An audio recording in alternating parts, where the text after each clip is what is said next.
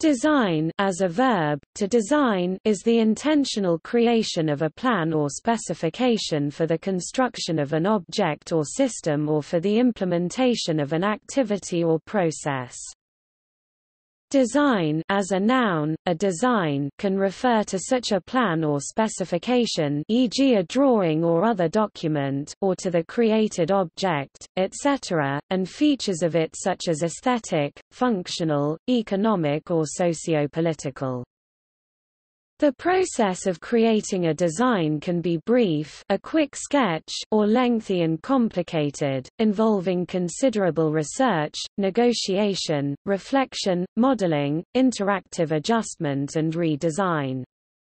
In some cases, the direct construction of an object without an explicit prior plan such as in craftwork and some engineering, coding, and graphic design is also considered to be a design activity.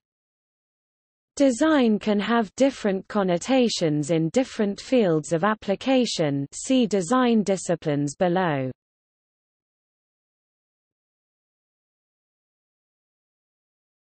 Topic: Definitions. Everyone designs who devises courses of action aimed at changing existing situations into preferred ones. More formally design has been defined as follows Noun a specification of an object, manifested by an agent, intended to accomplish goals, in a particular environment, using a set of primitive components, satisfying a set of requirements, subject to constraints, verb, transitive to create a design, in an environment where the designer operates. Another definition for design is a roadmap or a strategic approach for someone to achieve a unique expectation. It defines the specifications, plans, parameters, costs, activities, processes and how and what to do within legal, political, social, environmental, safety and economic constraints in achieving that objective. Here, a Specification can be manifested as either a plan or a finished product, and primitives are the elements from which the design object is composed. The person designing is called a designer, which is also a term used for people who work professionally in one of the various design areas usually specifying which area is being dealt with such as a textile designer, fashion designer, product designer, concept designer, web designer or interior designer. A designer's sequence of activities is called a design process while the scientific study of design is called design science. Another definition of design is planning to manufacture an object, system, component or structure. Thus the word design can be used as a noun or a verb. In a broader sense, design is an applied art and engineering that integrates with technology. While the definition of design is fairly broad, design has a myriad of specifications that professionals utilize in their fields. Major examples of design are architectural blueprints, engineering drawings, business processes, circuit diagrams, and sewing patterns.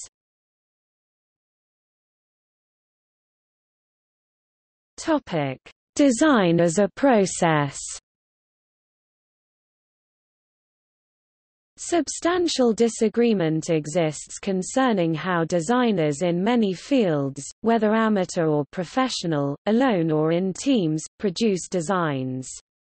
Kees Dorst and Judith Dijkhuis, both designers themselves, argued that, "...there are many ways of describing design processes," and discussed two basic and fundamentally different ways, both of which have several names. The prevailing view has been called the rational model, technical problem solving, and the reason-centric perspective. The alternative view has been called reflection in action, evolutionary design, co-evolution, and the action-centric perspective.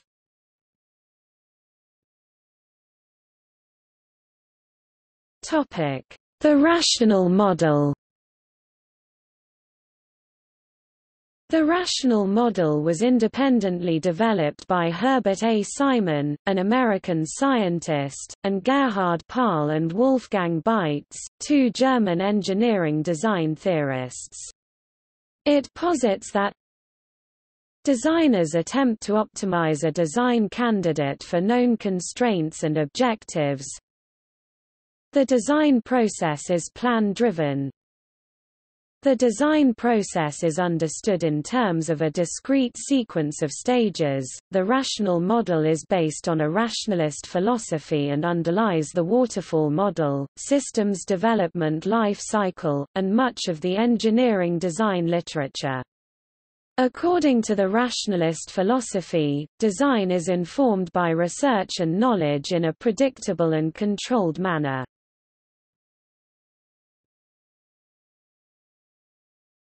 Topic: Example sequence of stages.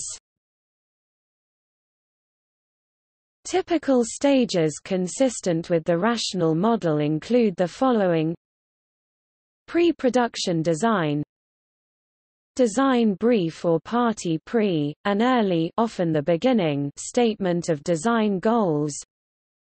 Analysis – Analysis of current design goals Research, investigating similar design solutions in the field or related topics. Specification, specifying requirements of a design solution for a product product design specification or service. Problem solving, conceptualizing and documenting design solutions.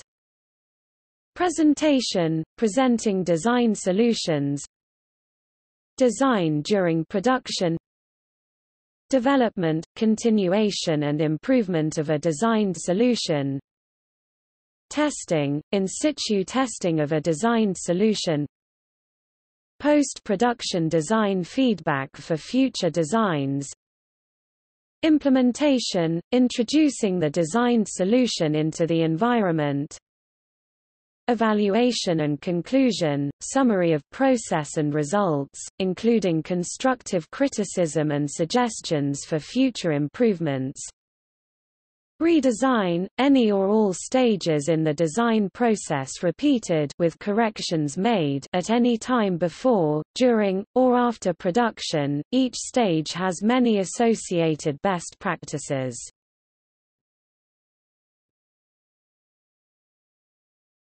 Topic: Criticism of the rational model. The rational model has been widely criticized on two primary grounds. Designers do not work this way. Extensive empirical evidence has demonstrated that designers do not act as the rational model suggests. Unrealistic assumptions, goals are often unknown when a design project begins, and the requirements and constraints continue to change.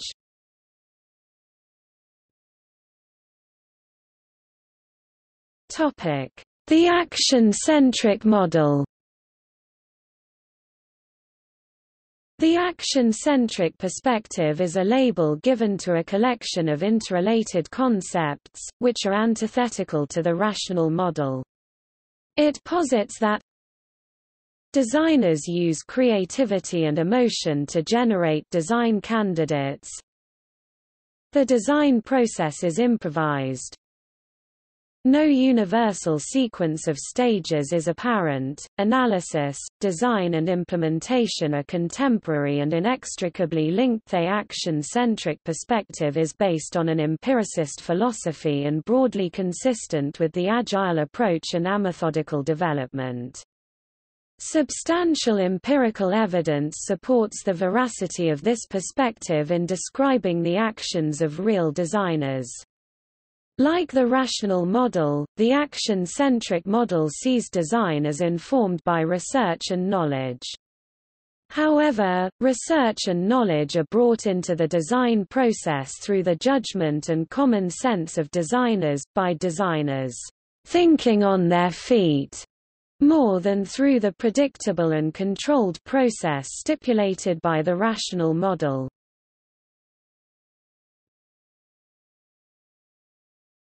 Topic: Descriptions of design activities. At least two views of design activity are consistent with the action-centric perspective. Both involve three basic activities. In the reflection in action paradigm, designers alternate between framing, making moves, and Evaluating moves. Framing refers to conceptualizing the problem, i.e., defining goals and objectives. A move is a tentative design decision. The evaluation process may lead to further moves in the design. In the sense-making coevolution implementation framework, designers alternate between its three titular activities. Sense-making includes both framing and evaluating moves. Implementation is the process of constructing the design object.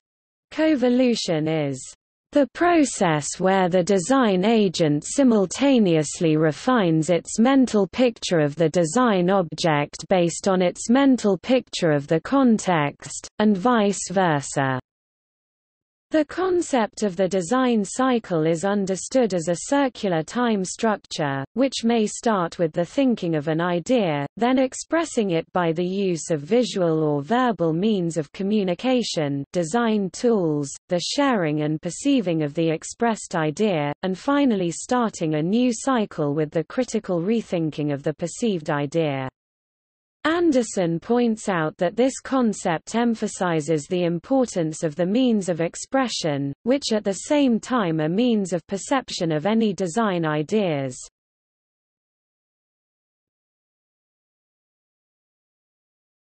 Topic: Design disciplines.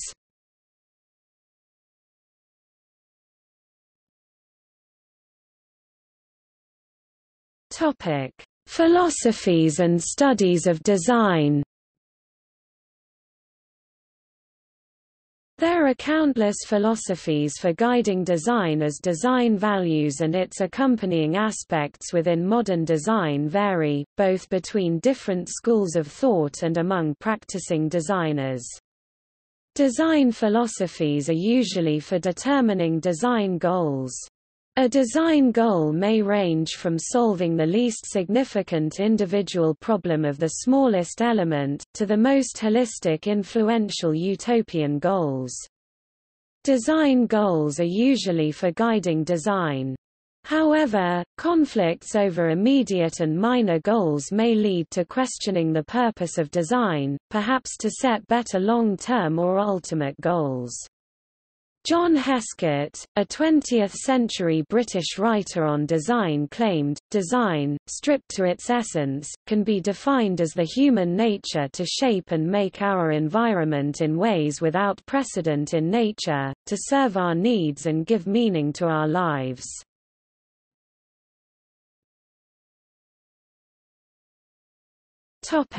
Philosophies for guiding design Design philosophies are fundamental guiding principles that dictate how a designer approaches his, her practice. Reflections on material culture and environmental concerns sustainable design can guide a design philosophy. One example is the First Things First manifesto which was launched within the graphic design community and states, we propose a reversal of priorities in favor of more useful, lasting and democratic forms of communication, a mindshift away from product marketing and toward the exploration and production of a new kind of meaning. The scope of debate is shrinking, it must expand. Consumerism is running uncontested, it must be challenged by other perspectives expressed, in part, through the visual languages and resources of design. In The Sciences of the Artificial by polymath Herbert A. Simon, the author asserts design to be a meta-discipline of all professions. Engineers are not the only professional designers. Everyone designs who devises courses of action aimed at changing existing situations into preferred ones. The intellectual activity that produces material artifacts is no different fundamentally from the one that prescribes remedies for a sick patient or the one that devises a new sales plan for a company or a social welfare policy for a state. Design, so construed, is the core of all professional training, it is the principal mark that distinguishes the professions from the sciences. Schools of engineering, as well as schools of architecture, business, education, law, and medicine, are all centrally concerned with the process of design.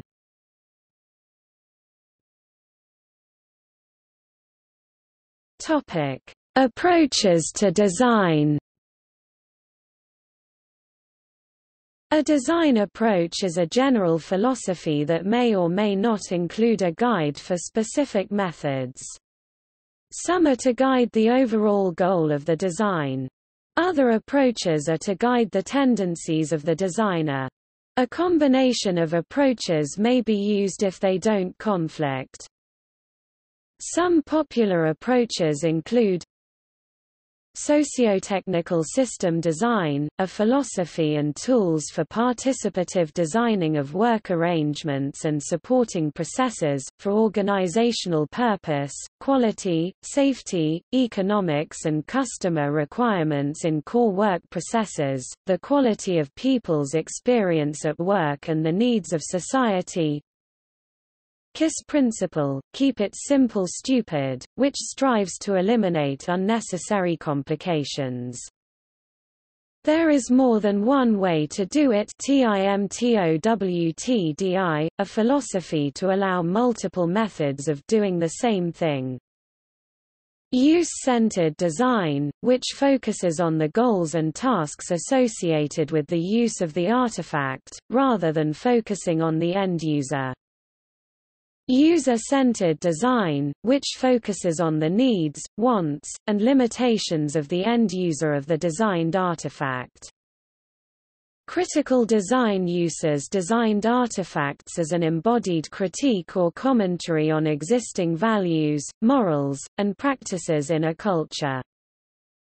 Service design designing or organizing the experience around a product and the service associated with a product's use. Transgenerational design, the practice of making products and environments compatible with those physical and sensory impairments associated with human aging and which limit major activities of daily living. Speculative design – The speculative design process doesn't necessarily define a specific problem to solve, but establishes a provocative starting point from which a design process emerges. The result is an evolution of fluctuating iteration and reflection using designed objects to provoke questions and stimulate discussion in academic and research settings. Participatory design originally cooperative design, now often co-design is the practice of collective creativity to design, attempting to actively involve all stakeholders e.g. employees, partners, customers, citizens, end users in the design process to help ensure the result meets their needs and is usable. Participatory design is an approach which is focused on processes and procedures of design and is not a design style. Topic: Methods of designing. Design methods is a broad area that focuses on Exploring possibilities and constraints by focusing critical thinking skills to research and define problem spaces for existing products or services, or the creation of new categories see also brainstorming, redefining the specifications of design solutions which can lead to better guidelines for traditional design activities graphic, industrial, architectural, etc managing the process of exploring, defining, creating artifacts continually over time, prototyping possible scenarios, or solutions that incrementally or significantly improve the inherited situation. Trend spotting, understanding the trend process.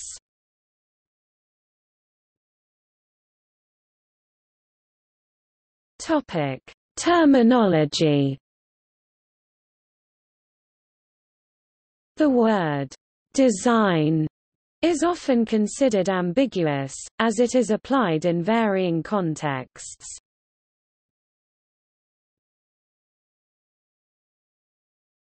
Topic: Design and art.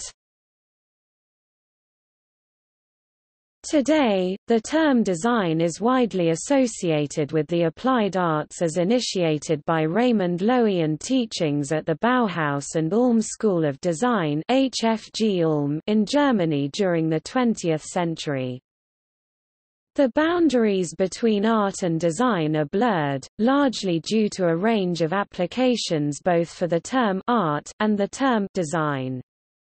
Applied arts has been used as an umbrella term to define fields of industrial design, graphic design, fashion design, etc. The term, decorative arts, is a traditional term used in historical discourses to describe craft objects, and also sits within the umbrella of applied arts.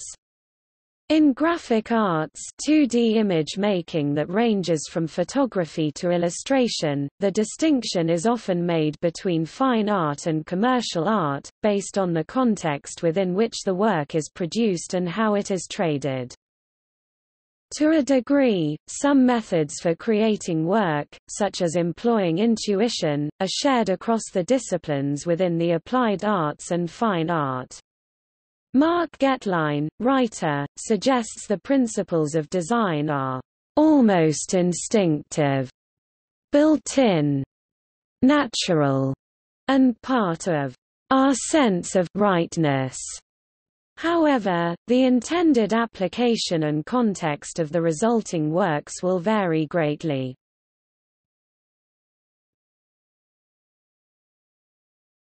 Topic: Design and engineering In engineering, design is a component of the engineering process.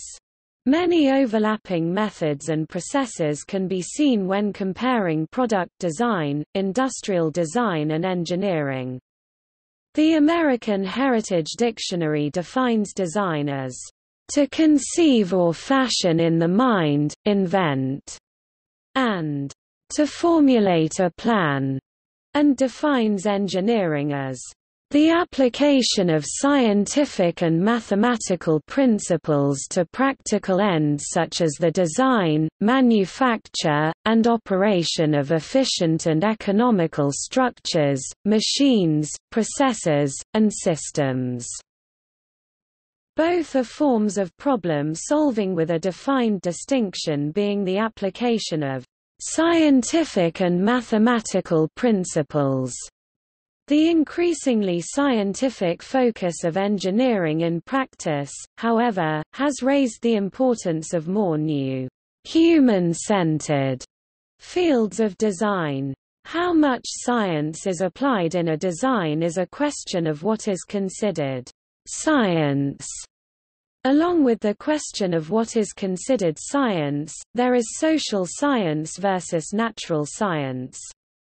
Scientists at Xerox PARC made the distinction of design versus engineering at moving minds versus moving atoms, probably in contradiction to the origin of term engineering, engineer, From Latin, ingenio, in meaning of a genius, what assumes existence of a mind, not of an atom.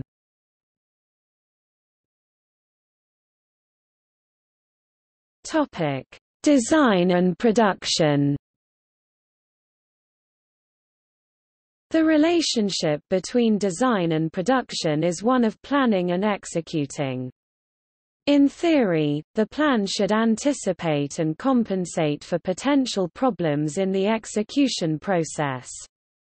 Design involves problem solving and creativity. In contrast, production involves a routine or pre-planned process. A design may also be a mere plan that does not include a production or engineering processes although a working knowledge of such processes is usually expected of designers.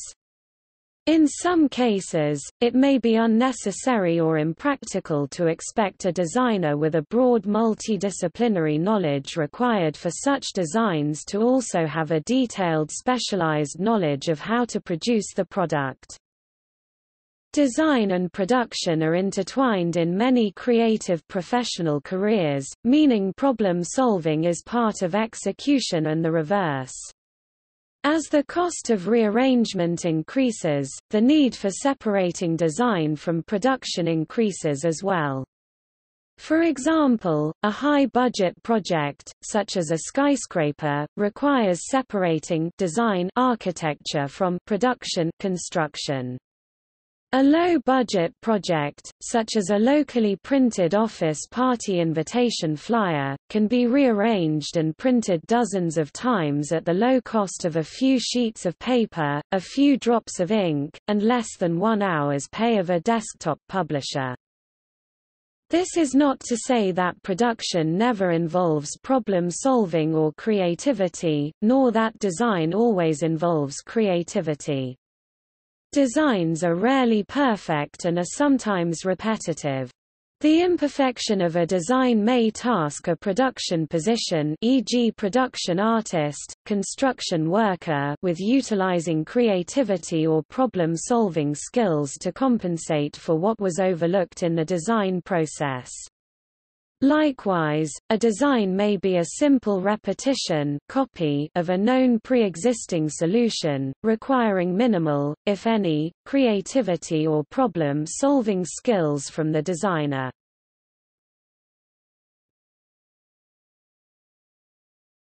Topic: Process design. Process design, in contrast to design process mentioned above refers to the planning of routine steps of a process aside from the expected result. Processes in general are treated as a product of design, not the method of design. The term originated with the industrial designing of chemical processes. With the increasing complexities of the information age, consultants and executives have found the term useful to describe the design of business processes as well as manufacturing processes.